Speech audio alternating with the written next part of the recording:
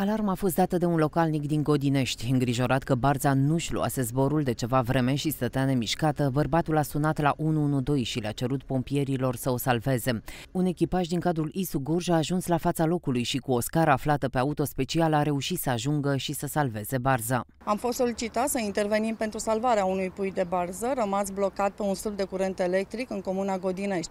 La fața locului s-a deplasat un echipaj de pompieri din cadrul detașamentului de pompieri Târgu Jiu, cu auto specială de lucru la înălțimi, care au salvat puiul de barză. Intervenția nu a fost una ușoară pentru că era pericol de electrocutare, așa că reprezentanții Inspectoratului pentru Situații de Urgență au luat legătura cu furnizorul de energie, care în scurt timp a trimis o echipă la fața locului. Intervenția la înălțime poate presupune acțiunea unuia sau mai multor echipaje de intervenție, între acestea putând fi echipaje de pompieri sau echipaje de alpiniști de intervenție. Acțiunile de intervenție la înălțime sunt uh, destul de numeroase, uh, însemnând uh, salvări de persoane, salvări de animale și bunuri materiale. Barza a fost predată unei asociații pentru îngrijiri, iar în scurt timp o să poată să zboare din nou.